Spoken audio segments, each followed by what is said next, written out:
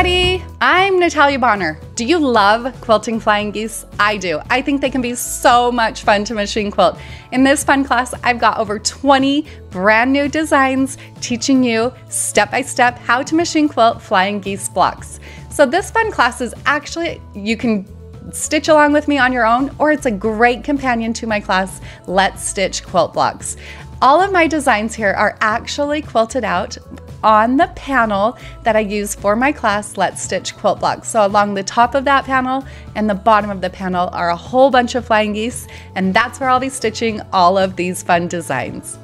Now, if you want to stitch along with me and you want to use the same quilt that I used here, you'll definitely want to pick up one of our Quilter's Piecing Companion workbooks. So, we have a companion workbook that teaches you step by step how to piece this exact same quilt top or you can pick it up from honestfabrics.com. It's called Let's Stitch Quilt Blocks.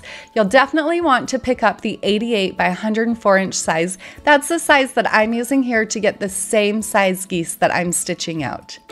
I'm going to be doing all of my machine quilting on my Gammill 22 inch machine. This is hand guided quilting and I am definitely going to be using my machine quilting rulers. So if you want to join along though, you don't have to stitch on the same machine. You can definitely do this on a home machine, on a sit down machine, or a long arm machine. You'll just need to make sure that you have the ability to machine quilt with rulers, also have a bit of knowledge how to machine quilt with rulers, and the ability to drop your feed dogs because there's also going to be quite a bit of free motion quilting.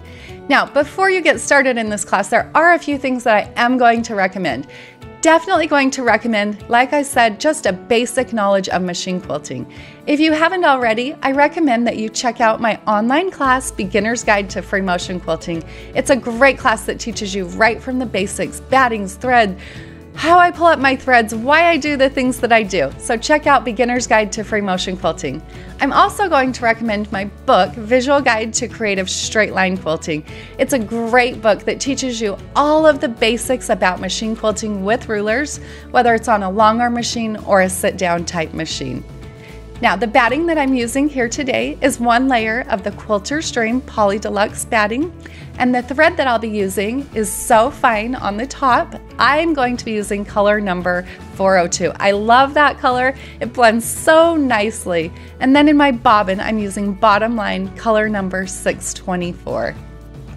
We're definitely going to be doing a bit of marking, so I'm going to recommend getting a foldable tape measure and also the blue Mark B Gone marker. Now, once I've done my markings, then I love to use a misting spray bottle to mist away those markings.